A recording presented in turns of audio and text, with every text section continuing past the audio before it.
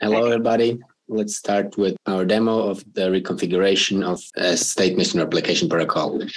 This is about reconfigurable state machine replication in Mir. So just a quick, re uh, quick recap. What is Mir? Mir is a framework for implementing distributed protocols uh, that uh, we are developing at Consensus Lab. It focuses on consensus protocols.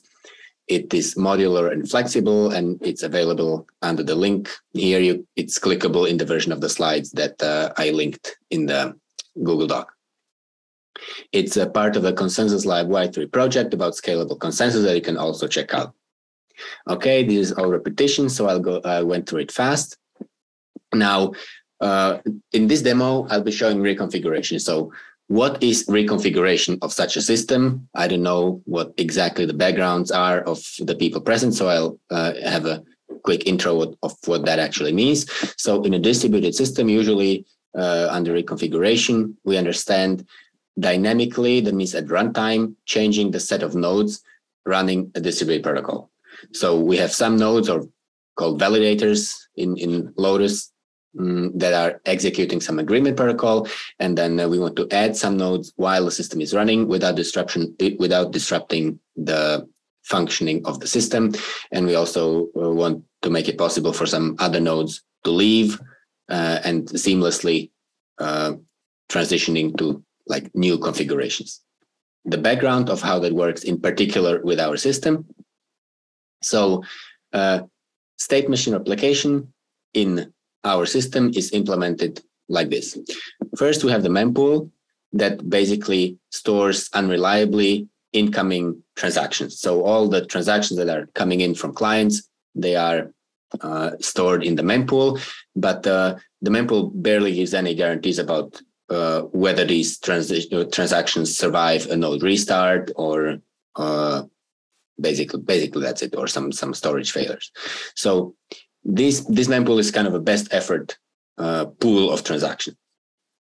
So from here, transactions make it uh, in batches to the availability component, and the availability component in our system it uh, is basically a reliable trans uh, uh, transaction storage. So it also executes a protocol, and when it receives a batch of transactions, it um, makes sure that enough other nodes reliably store all these transactions such that such that it's sure such that it's certain that uh, that these transactions will be available for anybody who asks for them.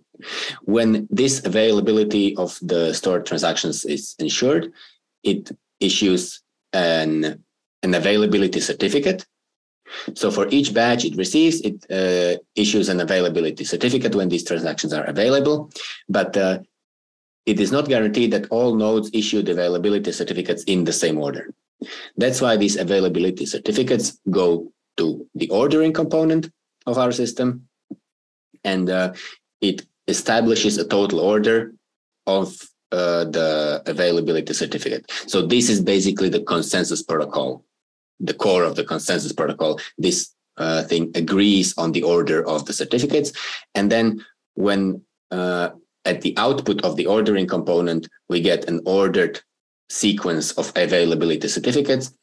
Uh, they go to the execution uh, stage, and at the execution stage, these availability certificate are transformed back to actual batches of transactions that are fetched from the availability layer. So each uh, availability certificate corresponds to some transactions. We fetch those transactions. We know that are available because it's certified by the certificate uh, we get the actual transactions, including the payloads, and uh, and we can execute them. More in detail, what happens is when this availability certificate comes in the to, to the execution stage, it uh, it comes ordered with respect to other events that happen, and uh, our system works uh, based on what we call epochs. It is not the Filecoin uh, expected consensus epochs. This, this is a different notion of epoch. And uh, so basically what we get here is certificates interleaved with new epoch events. All this is totally ordered. Then, as I said, we, we fetch the batches of transactions from the availability layer, and then uh, we have another ordered sequence of batches and new epoch events. And here, some of these transactions can be special configuration transactions. And this is where, which, uh, this is what is uh, important for the reconfiguration that I'm, that I'm, going to show. So some of these transactions are special ones that, that uh, change the configuration of the system. They're filtered out here. And uh, they're also ordered with respect to epochs. And then the system contains some some configuration state. And when, whenever there is uh, a new epoch, all the configuration transactions are they take effect, and uh, all the components of the system uh, receive an event that uh, they need to reconfigure.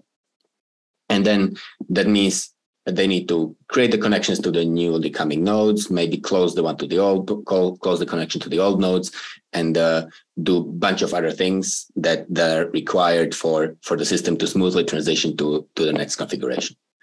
And the transactions that are not configuration transactions, they're basically just application transactions. They are assembled into blocks and shipped to actual execution we dynamically change the set of nodes. This is this is what we will show in the demo, and uh, we will show it in a chat demo application that I was using also last time to to show the fault tolerance of the system.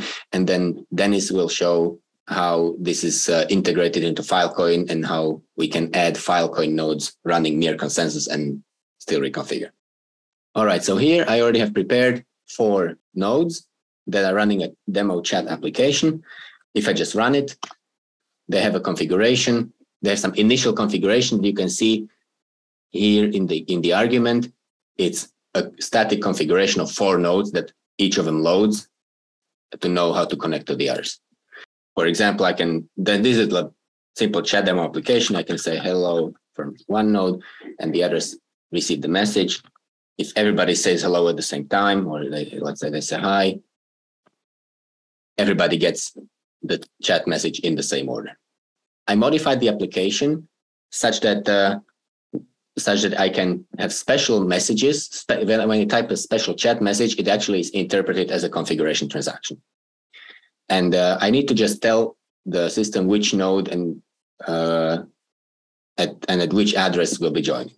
So I have I have another node ready here. So here I run the chat demo. I give it a new configuration that already includes the four nodes and itself.